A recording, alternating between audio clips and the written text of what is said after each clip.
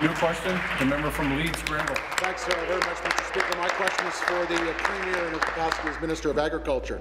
Last month, uh, Premier, you were missing in action when a century of excellence in agriculture education was put in jeopardy when the, the Kemptville College closure announcement. Last week, again, Minister, you were missing in action again.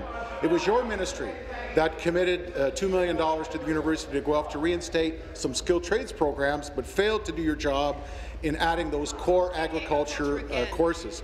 The ag community was very clear.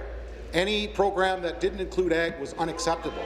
And, and the agriculture community further wants to remind you that Kemptville College isn't a trade school, it's an agricultural college. Yep. When are you going to stand up as a minister and stand up for farmers and farm families for agriculture education?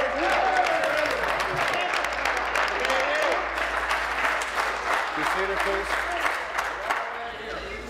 Minister of Agriculture. Speaker, you know, uh, the, uh, the member opposite knows full well that uh, as soon as we knew of this situation, both with Alfred College and with Kemptville, um, my parliamentary assistant, the, uh, the member for Glengarry Prescott Russell, was on the job, Mr. Speaker, and was making sure that we found solutions. And we did find solutions, Mr. Speaker.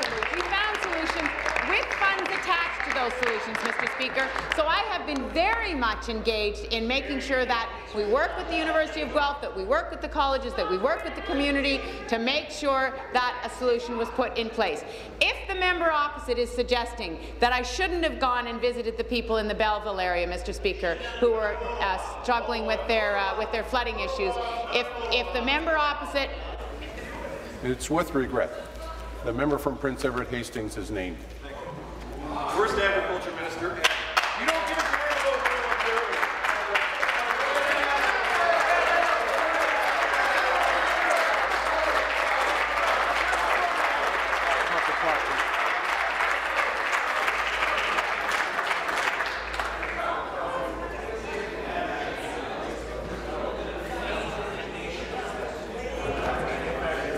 Order, please.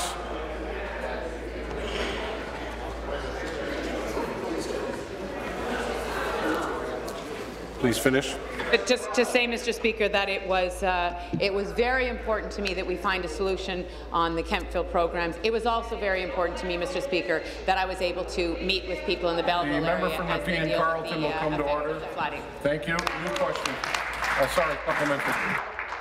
Premier, Premier, farmers and farm families across Ontario know one thing, and they know one thing that it's you, Minister, that aren't doing your job on this farm. Minister, let me contrast what a Tim Hudak Ontario PC government would do for Ontario. We'd make private sector job creation a priority and grow agri-food and agriculture sectors by supporting the education programs they need to stay competitive. Support. Under a Tim Hudak government, the University of Guelph would get the same answer they got from previous PC agriculture ministers who wanted to close these campuses. The answer we give them was no. Students in those ag diploma programs Question. who can't begin their education in Kemptville this year because you said yes when are you going to stand up for agriculture education in Eastern Ontario? Stand up for those students.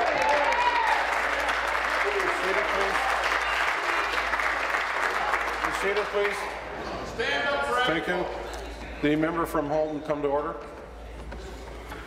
Finish, please. Oh, Mr. Speaker, I, um, you know, I understand why the member opposite and uh, that party believe that it is in the interests of their uh, their party to drive wedges between groups of people in Ontario, to drive wedges between rural Ontario and urban Ontario, Mr. Speaker, to drive wedges between people who work on the farm and people who work in urban centres. I believe that, Mr. Speaker. No. I don't believe that it's in the best interest of the province's future for those kinds of wedges to be exacerbated, Mr. Speaker. But that is the politics of division that they practice. We made an announcement last week, Mr. Speaker. Actually, it was this week on food processing. Over 60 food processors, Mr. Speaker. Over 60 yeah. groups that are getting local food funding, Mr. Speaker.